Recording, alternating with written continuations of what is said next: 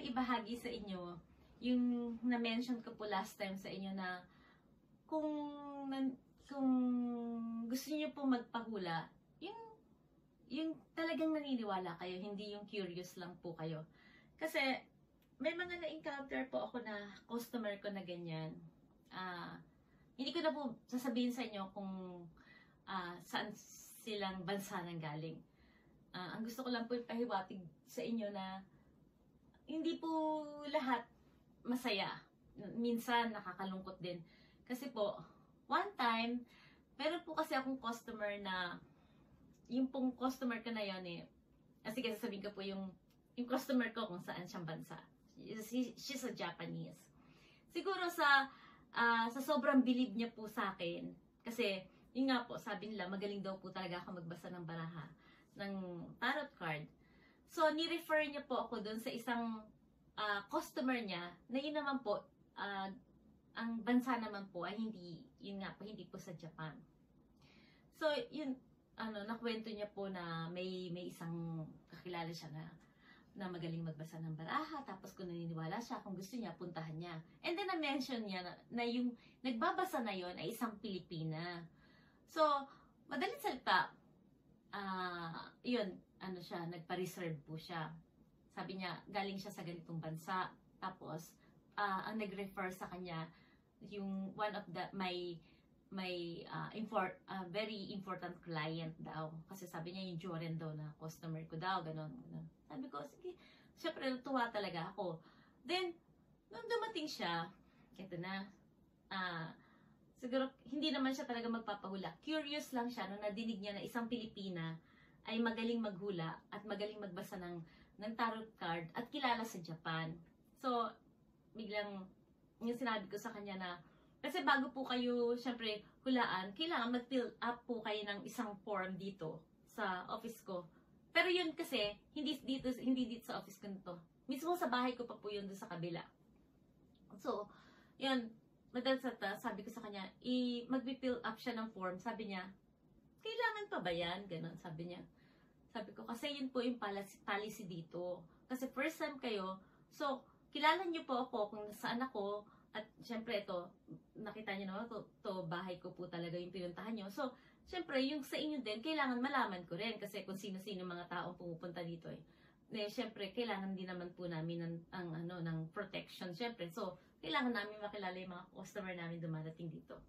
So, sabi niya, ba't kailangan pa daw yun?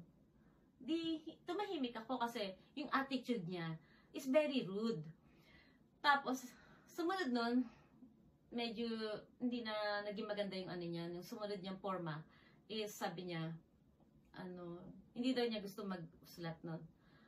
Tapos, sumunod naman, sabi ko sa kanya, ah, meron daw siyang gustong pahulaan na tao. Ah, sabi ko, eh, kailangan po isulat dito. Hindi pa ako natatapos magsalita. Yun na naman siya, parang may pagka, ah, may pagka-arrogant na yung pagsasalta niya. So sabi ko sa kanya, ano ba pinunta mo rito? Sabi niya ganun sa akin. Ah, sabi ko sa kanya, ano ba pinunta mo dito? Tapos sabi niya nga, meron daw sa kanya nag-refer na isang Japanese. Tapos daw, yun nga daw pagkakasabi na magaling daw ako magbasa ng baraha. Then sabi niya, Pilipina daw yun, na ganun. So, na-curious daw siya. Ah, sabi ko, ah, curious ka lang. Pero, hindi ka naman talaga naniniwala sa hula. Sa ganitong, ano, yung ganitong parang may pagka-spiritual, hindi ka naman naniniwala. Sabi ko sa kanya.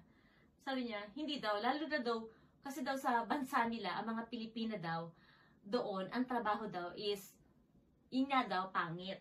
Mm, yun daw, mm, parang, ang pagkakasalta niya, yung may pagka-prosti yata ang Pinay sa bansa nila. Sabi ko sa kanya, ah, ayun ba pinunta mo rito? Sabi ko, yung, yung gusto mong ipamukha sa akin na kaming mga Pilipina, ay yun lang ang alam.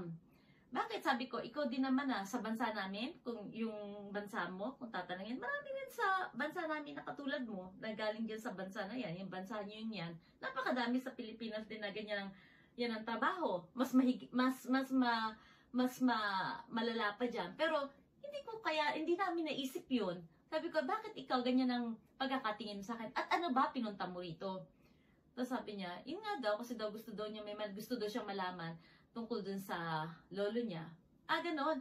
yung lolo mo ba? Or gusto mo malaman kung totoo ako? O ano ba pagkatao ko? At gusto mo ipamukha sa akin kung ano ba talaga yung kami, kami mga Pilipina, yun lang ang alam namin sa, sa buhay, ganun. Kasi sabi ko, hindi ko kasi nak- nakita sa'yo yung talagang interesado ka. Ang gusto mo lang is curious ka kung ano ba talaga ang pagkatao ko at saka yung parang gusto mo ipamukha sa akin, kin- kinikriticize mo ang, ang, ang bansa namin. So ngayon, wala na din akong panahon para makipag-usap sa'yo. Kasi unang-una, ano, yung pagkatao mo, hindi naman makukuha yan sa paghuhula eh. Ang dapat sa'yo, baguhin mo din yung talagang totoo mong karakter, yung attitude mo. Hindi na kailangan hulaan kasi ang tinitingnan mo sa sarili mo, ikaw yung pinaka mataas. At saka, sabi ko sa kanya, sa totoo lang, hindi-hindi mo mababayaran yung naramdaman ko ngayon sa'yo na ganyan pala ang tingin mo sa kapwa mo, ganon. Sabi ko, so, kung gusto mo, bumalik ka na lang kasi nawala na talaga yung mood ko eh. Tapos eh, siguro, ano, hindi niya akalain na gano'n ang mangyayari sa kanya.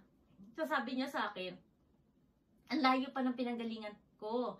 Galing pa ako sa Minato ko. Sabi ko sa kanya, yun naman pala eh. Sana, nag-isip-isip ka bago ka pumunta rito na kung sino yung kakaharapin mo. Unang-una dito, ah, hula ang pinunta mo rito. So, malalaman mo yung, malalaman ko yung buong pagkatao mo dyan. So, wala na yung privacy mo dyan.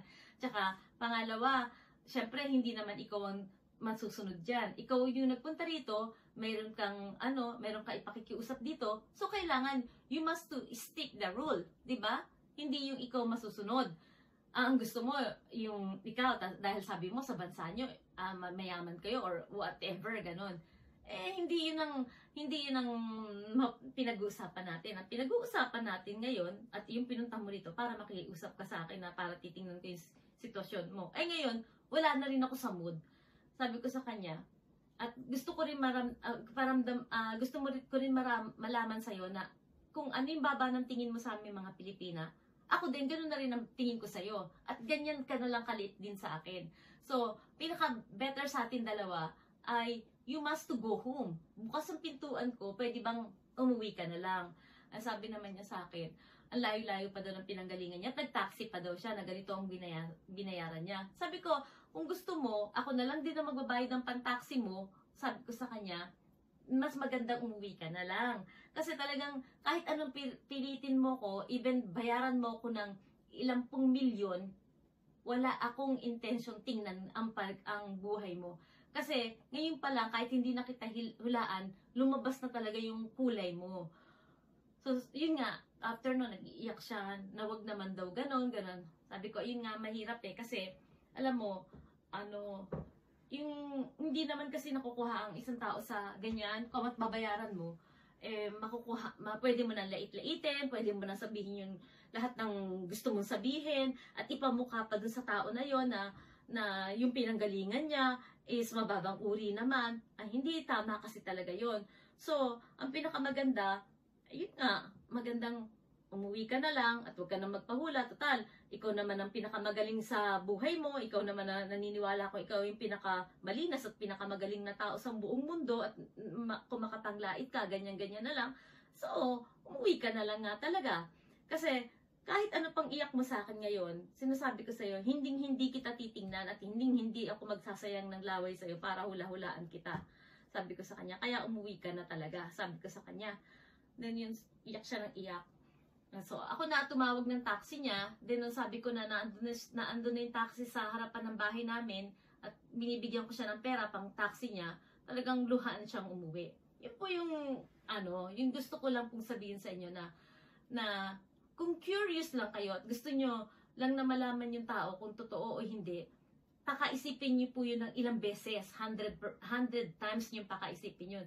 Kasi, kung susubukin nyo yung isang tao ng ganon, kagaya niya, kumbaga sinusubok niya isang tao, then kinikriticize niya pa. Talagang, ano, yung pong karma pa lang nun sa inyo, ah, hindi pa hindi pa kayo lumalakad papunta sa tao na yon andun na kasama ano na na-achieve niyo na po yung karma niyo na yon yun ang nangyari sa kanya. Kaya yun po sasabihin ko lang po sa inyo.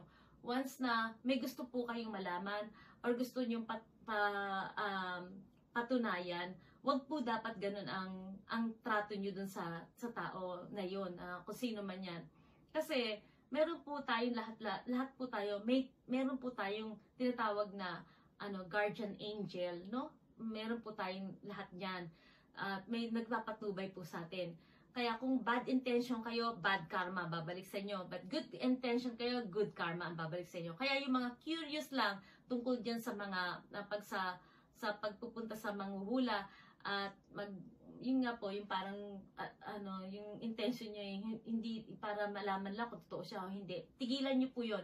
Yung yung yung gusto niyo talaga, yung sa puso niyo po talaga kayo pumunta sa ganong lugar. Kasi um, yun nga po, mas malamang po talaga mapapahiya kayo. May isa pa po din na ako na na-encounter na isang ano kap, kapwa ko din po, Pilipina. Pumunta siya doon sa bahay ko, naka postura siya, nakabiton siya, nakalahat siya. Tapos ano, doon sa sa kabilang bahay ko kasi meron doon yung parang room ko talaga na yun po talaga yung pinag pinag uh, pinaghuhulaan ko yun. Yun yung po yung pinaka parang consulting office ko po. Tapos kung tingnan niya ako, mula ulo hanggang paa. Yung nagpatingin pala siya, siya sa akin, yung pala, siya po ang pinaka talagang napakaraming utang, tapos yung boyfriend niya, dalawa, tatlo paya pa pala, tapos yung trabaho niya, mas talagang, Diyos ko po, kaya ayaw ko na lang magsalta. So, yun nga, yung parang bilib na bilib siya sa, sa sarili niya. Hindi niya natanong na yung bahay na pinuntahan niya yun, hindi namin yung inuupahan. Sa amin yun. At yung bahay na yon ay hindi basta-basta po yan, ano, ano, 10 piso, isang daan lang binili. Yun po, milyones.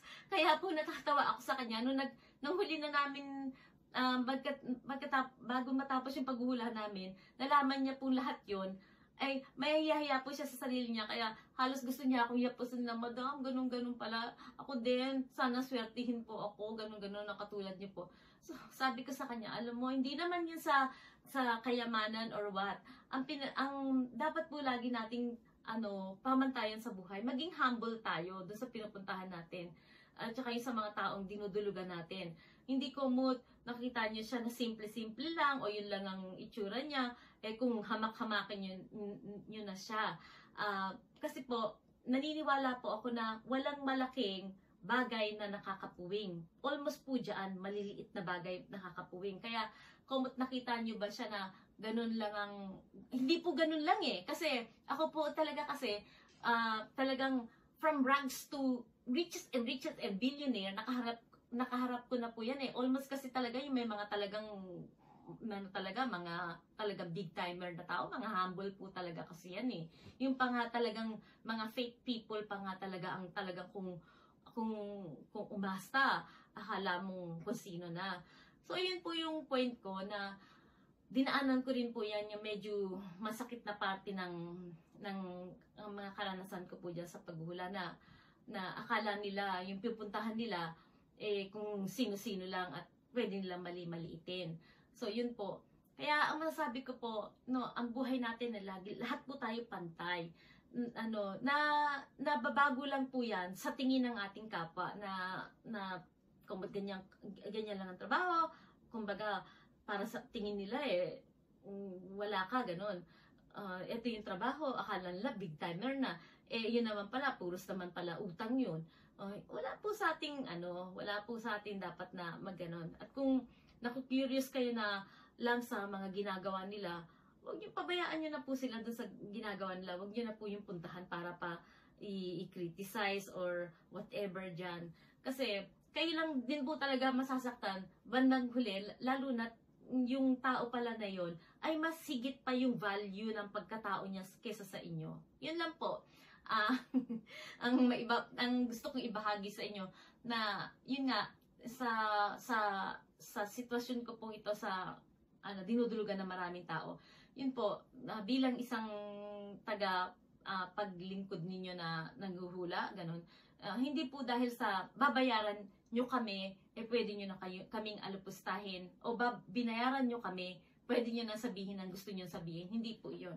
Kasi kami rin may good intention eh. Hindi po yung pera na ibibigay nyo sa amin. Yung mapaligaya namin kayo uh, matulungan namin kayo dun sa burden na dalahin nyo sa puso nyo. Yun po kami. Yun po yung intention namin. Kaya, s- mula ngayon, yung mga, yung mga, ganyan, yung mga hindi naman din naniniwala sa hula or curious lang sa manghuhula, huwag nyo na pong pagkaabalahan na isipin pa yung ginagawa namin. Kasi kami naman po, isa, dalawa lang pumunta sa amin at makinig sa amin, maligaya na po kami doon. Kasi ang intention po namin ay tumulong sa kapwa, hindi po magpahirap or whatever sa kapwa o pirahan namin yung aming kapwa. Ah, kami po gusto namin lahat lahat ng mga tao ay laging may pag-asa at merong magandang ah, hinaharap, lagi pong ah, may ano po yung may laging purpose sa buhay na ano, huwag mag-give up. Yun po. Yun po ang purpose ng trabaho namin ito. Yun lang po. Maraming maraming po salamat at ah, lagi ko pong pinapanalangin na lahat tayong tayo sa mundong ito maging maligaya at maging mapayapa ang buhay at higit sa lahat ang pag-ibig sa kapwa huwag pong kakalimutan yan ang inyo pong tagapaglingkod Madam Iris po. Thank you so much po. Maraming salamat. Good night po. Thank you